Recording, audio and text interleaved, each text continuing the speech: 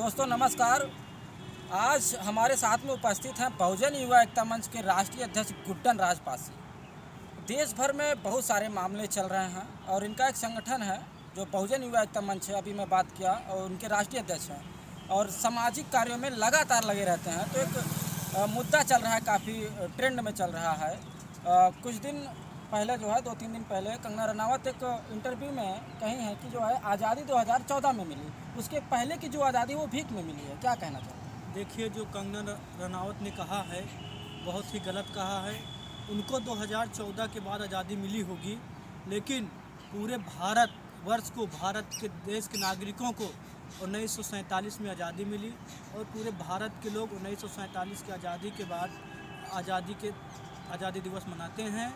और जो कंगना रनावत ने कहा है, इसके लिए उनके ऊपर देशद्रोह का मुकदमा होना चाहिए, क्योंकि हमारे बहुत सारे महापुरुष, चंद्रशेखर आज़ाद, भगत सिंह, शहीद गुरुदेव और बहुत सारे हमारे आज़ाद, हमारे शहीदों ने बलिदानी दी आज़ादी के लिए और उन्नीस सौ सैंतालीस में आज़ादी हम लोगों को मिली। और हाँ कंगना रनावत की जहाँ से बात है, उनको आरएसएस और बीजेपी वालों ने 2014 के बाद आज़ादी दी, क्योंकि वो देश के सांप्रदायिक फैलाने का काम करती हैं।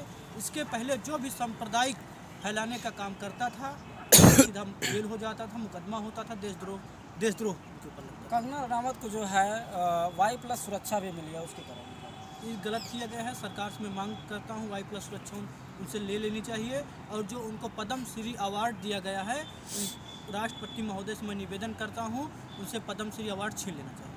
ये जो है काफ़ी मुद्दा सोशल मीडिया से लेकर ट्विटर तक ट्रेंड कराया जा रहा है, अवार्ड छीना जाए।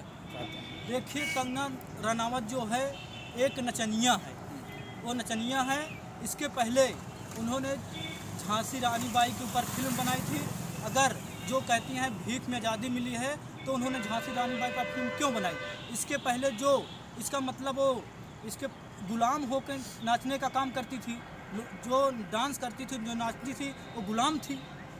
जो कंगना रनावत जो है गुलाम थी। गुलाम थी बिल्कुल। जब कहती हैं कि हमको 2014 के बाद आज़ादी मिली है इसके पहले क्या गुलाम थी?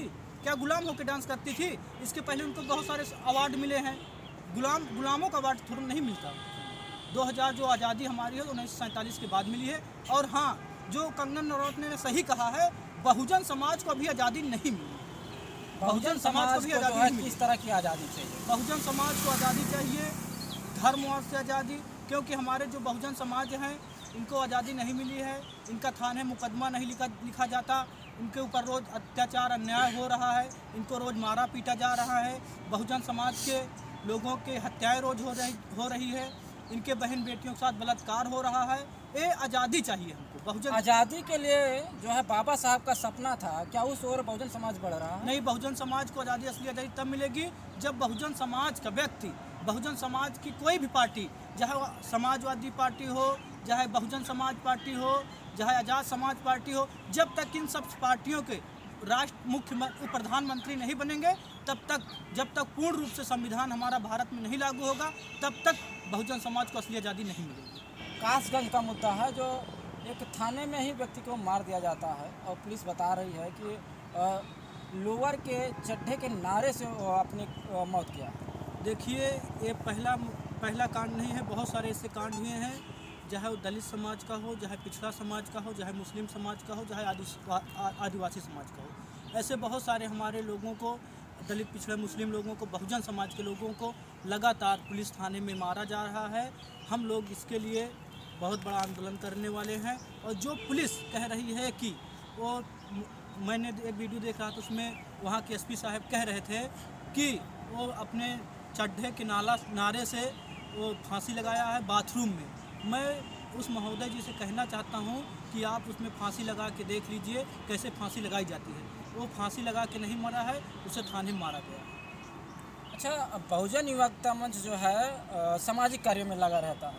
अभी हाल ही में जो है चुनाव भी आने वाले हैं 2022 का। बहुजन युवा एकता मंच का क्या रोल रहेगा चुनाव को लेकर? देखिए बहुजन युवा एकता मंच का काम है राजनीतिक संगठन नहीं है सामाजिक संगठन है। बहुजन युवा एकता मंच किसी राजनीतिक पार्टी को समर्थन सहयोग नहीं करेगा। हाँ जहाँ रही जो भारतीय जनता पार्टी के पार्ट- हराते रहेंगे हम लोग उसका समर्थन करेंगे। बहुजन युवा एकता मंच के जो पदाधिकारी हैं वो अलग अलग राजनीति को सपोर्ट करते हैं। नहीं ऐसा कोई बात नहीं है। अलग अलग राजनीतिक सपोर्ट नहीं करते।